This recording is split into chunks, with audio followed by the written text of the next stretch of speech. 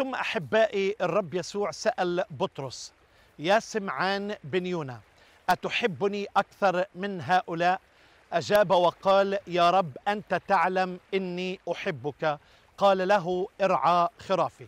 فأنا عاوزك تشوف عدة أمور في هذه المعجزة بعد القيامة. اولا أض... رأوا مصداقية المسيح أنه فعلا سيظهر لهم على بحيرة طبرية. ثم رأوا قدرة المسيح بالمعجزة الخارقة عندما طلب أن يلقوا الشبكة إلى الجهة اليمنى. وصادوا 153 سمكة. والجدير بالذكر عندما يذكر يوحنا أرقام في تعبير مهم.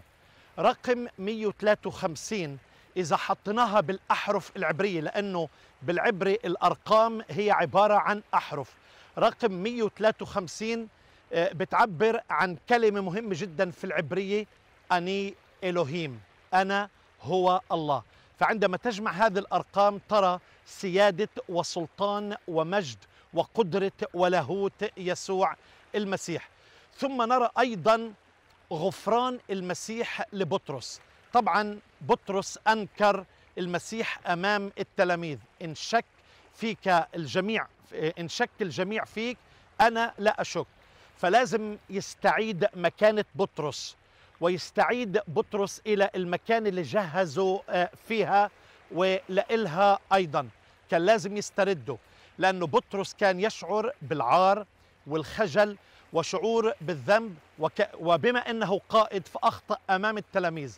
فالمسيح أمام التلاميذ أراد أن يرد اعتباره ويرد مكانة الرسول بطرس. فسأله أتحبني؟ قال أنت تعلم إني أحبك.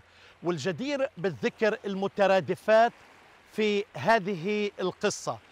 المسيح يسأل أتحبني؟ بلغة الاجابي في اللغة اليونانية. فبطرس يرد باللغة لغة الصداقة في فيليو. أول مرتين يسوع بيساله اجابي بطرس برد محبة الصداقة. آخر مرة يسوع بيسأله بمحبه الصداقة فيرد بطرس بمحبة الصداقة لكنه يضيف يا رب أنت تعلم كل شيء. شعور بالخجل شعور بالعار بالانكسار. والمترادفات الأخرى ارعى غنمي. فهون بيتكلم ثلاث مرات إما عن حملان صغيرة أو طبعا أغنام كبيرة. وبيتكلم في هذه المترادفات أنت تعلم عن المعرفة العقلية مقابلها المعرفه الشخصيه الاختباريه أيضا.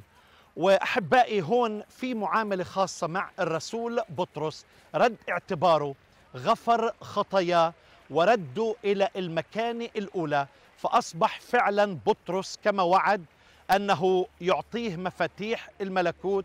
وإحنا في مكان مهم كنيسة الرعاية لمار بطرس حدثت على بحيرة طبرية. مثل شايفين ما شايفين السواح بيجوا من كل أنحاء العالم لكي يزوروا هذا المكان الخاص.